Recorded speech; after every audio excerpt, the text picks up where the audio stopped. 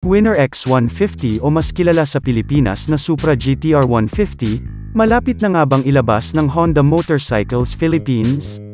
Kung totoo na nga ay ito na ba ang magiging new Underbone King o hindi pa din mapapantayan man lang ang dalawang nag-aagawan sa trono?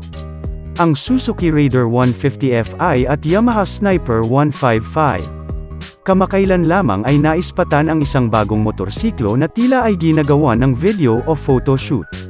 Isang motorsiklo na bago sa paningin ng mga motorcycle enthusiast at obvious na wala pa sa Philippine market. Mabilis na kumalat ito sa mga motorcycle enthusiast FB pages. Marahil ay para na ito sa commercial o advertisement na gagawin ng Honda Motorcycle Philippines para sa paparating na pag-launch ng bagong pantapat ng Honda Motorcycle Philippines sa 150cc underbone category. Sa ngayon ay ang sigurado pa lang ay dalawang motor pa din ang namamayagpag sa 150cc underbone category.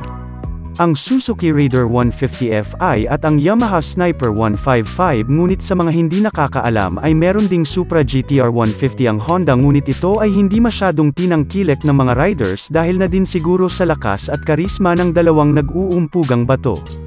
Kahit ang nauna ditong Honda RS 150 ay tila natabunan din ng dalawa. Pero may kasabihan nga tayo na bilog ang bola o ang buhay ay parang gulong, minsan nasa baba, minsan nasa taas. Kaya hindi ako sigurado kung patuloy ba ang rivalry ng Suzuki Raider 150 Fi at ang Yamaha Sniper 155 sa pagdating ng bagong motor ng Honda Motorcycle Philippines. Nag-post na nga din pala ng teaser ang Honda Motorcycle Philippines kaya pataas na ng pataas ang porsyento na ilalabas na nga ang bagong Honda Supra GTR sa lalong madaling panahon. Well hindi na bago sa Honda ang mang-agaw ng trono. Isang halimbawa na dyan ang noon ay binyansagang Mio Killer o ang ipinakilalang game changer ng Honda na talaga namang naungusan ang noon ay naghaharing Mio sa 125 category.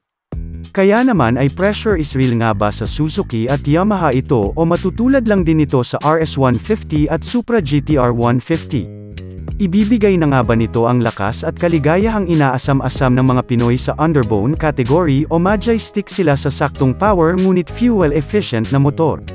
Talaga nga namang napakaganda ng bagong Honda Supra GTR 150 o marahil ay tatawaging Winner X na din sa atin. Mula sa design hanggang sa specs at features ay mukhang makikipag-sabayan na din ito sa dalawang Underbone Kings. Hindi na ko makapaghintay na paglabas nito dahil habang ginagawa ko ang video na ito ay naglabas ng bagong teaser ang Honda Motorcycles Philippines at mukhang Honda Winner X na nga talaga ito base sa caption na, Ride Like a Champion, Well if you're the winner then you're the champion. Kaya naman hindi na ako makapaghintay na ilabas ito para makumpleto na nating ang 3 Kings lineup ng Underbones nang lalo pang mahirapan ang mga tumatangkilik nito kung sino ba talaga ang king ng Underbone category sa ating bansa.